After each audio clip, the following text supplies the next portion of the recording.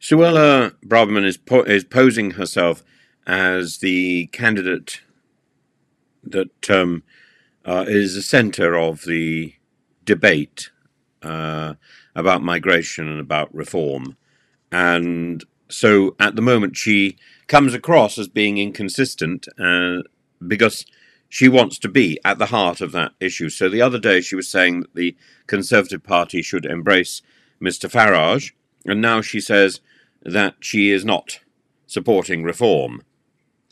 Uh, in a way, she can't have it both ways. She can, because she is Suella Braverman, and she, like Farage, survives on uh, negation. She has nothing positive to offer.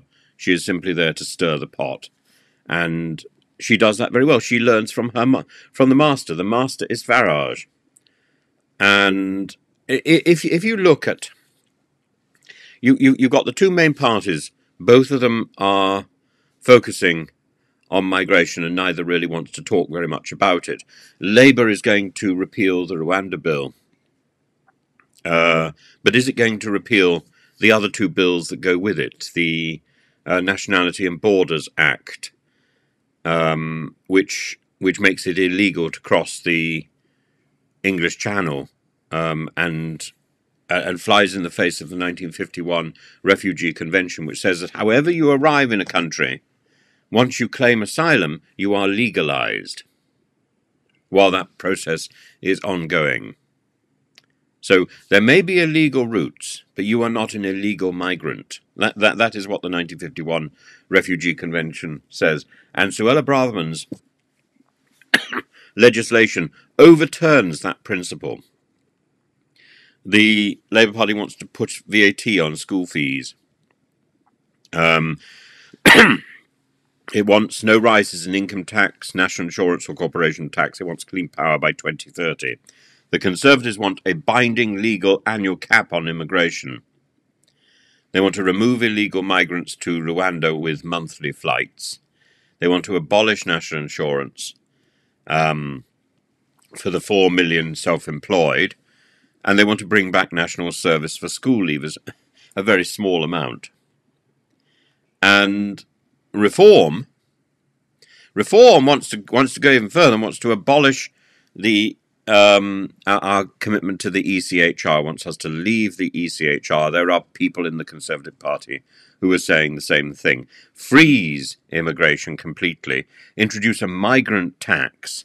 Force employers to pay higher national insurance rates of 20% for every foreign worker they employ, um, an idea previously put forward by Suella herself.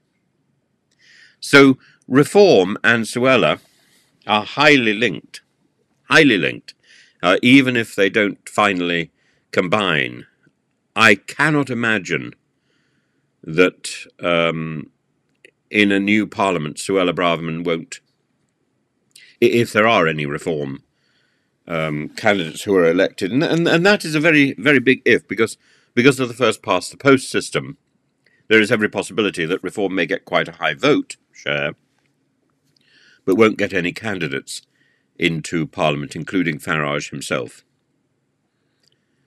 But I my my, my hunch is that Farage will be will, will definitely be in Parliament. He may be the only Reform MP, and he will then join the Conservative Party and chum up with the rump of the Conservative Party. And I imagine Suella Braverman will be there. The Conservative Party, my my my prophecy is that the Conservative Party will lurch so far to the right under Braverman and Farage that it will never be elected again and it may have to rebrand itself with a different name. Um, uh, the irony of this is the Conservative Party is moving out of the sphere of influence at the same time that more right wing parties are taking control in mainstream Europe under people like uh, Meloni in Italy uh, who, of course, has a good relationship, as we saw from the front page of the Times yesterday, I think it was the Times with the photograph of Meloni and Sunak embracing. Uh, you know, she also, incidentally, has a good relationship with Albania, which she has not destroyed, unlike Suella Braverman. Because the Albanian outsourcing process may well be uh, a legitimate and successful form of um, uh, a way way to deal with migration crisis uh, in in the run up to reviewing and renegotiating the 1951 Refugee Convention, which is an essential. We could have been part of that, and we could have been part of that Albanian plan had we not been uh, controlled by a mad Home Secretary who saw it as her opportunity to stand at the dispatch box and um, harass uh, an, an, entire country and an entire nation, many of whose people come, have come to Britain and are working legally in our country, and came out in force in a huge wave of protesters uh, after she stood at the dispatch box and screamed invader. Their uh, Prime Minister Edi Rama and the Crown Prince, Prince Leka, both wrote to the Home Office, both wrote, I think, to the Prime Minister as well as to the Home Secretary, and she, the Home Secretary, couldn't be bothered to respond. Never did respond.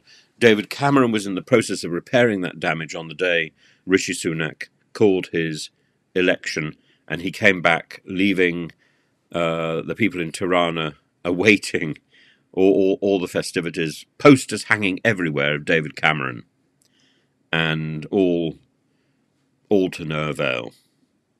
She did appalling damage to our reputation abroad.